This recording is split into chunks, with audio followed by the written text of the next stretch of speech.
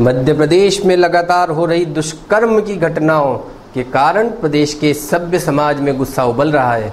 मामा मुख्यमंत्री के राज में मंदसौर में हुए महापाप ने सभी को झकझोर कर रख दिया है। प्रदेश के मुखिया की भांजियाँ डरी सहमी हुई हैं। बावजूद इसके बलात्कार की घटना थम नहीं रही है, दामनों से फिर रिश्तों को तार तार करने वाली खबर आई है। दो माह पहले ही जेल से छूटे मामा ने अपनी भांजी के साथ दुष्कर्म को अंजाम दे दिया है। रेप की घटनाओं को लेकर प्रदेश के अनेक स्थानों पर अपराधियों के खिलाफ लोग विभिन्न तरीकों से प्रदर्शन करके अपने गुस्से का इजहार कर रहे हैं। देखिए हमारे संवाददाता की विशेष रिपोर्ट। बड़नगर श्रमजीवी पत्रकार संघ द्वारा गौर निंदा करते हुए उक्त घटना पर गहरा दुख व्यक्त करते हुए आरोपियों को कड़ी सजा दिए जाने हेतु राज्यपाल के नाम अनुविभागीय अधिकारी एकता जायसवाल को ज्ञापन दिया गया। महेश सोनगरा की रिपोर्ट। सावेर में निकला कैंडल मार्च। मासूम बालिका के साथ सामूहिक दुष्कर्म की घटना पर नागरिकों में आक्रोश व्याप्ते संस्था वात्सल्य के माध्यम से युवाओं ने चारभुजा नाथ मंदिर से मेन तिराहे तक मौन कैंडल मार्च निकाला। ओम कटारिया की रिपोर्ट।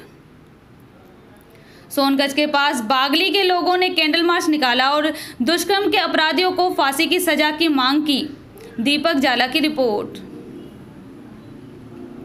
सेलाना में दुष्कर्मियों को फांसी दो की मांग को लेकर जन सैलाब उमरा गुस्से से उबल रहे नागरिकों ने कांग्रेस नेता हर्ष विजय गहलोत के नेतृत्व में कैंडल मार्च निकालकर थाना प्रभारी को ज्ञापन दिया है। ज्ञापन का वाचन हर्षाली दोषी ने किया तथा आभार जितेंद्र सिंह राठौर ने माना। दर्दनाक दुष्कर्म की घटना को लेकर गोगावा नगर के समाज सेवियों एवं पत्रकारों ने मौन रैली निकालकर तहसील कार्यालय जाकर ज्ञापन सौंपा है। ज्ञापन का वाचन तहसील पत्रकार संघ के अध्यक्ष सुनील वर्मा के द्वारा किया गया। गोगावा से सुमेर सिंह चौहान की रिपोर्ट।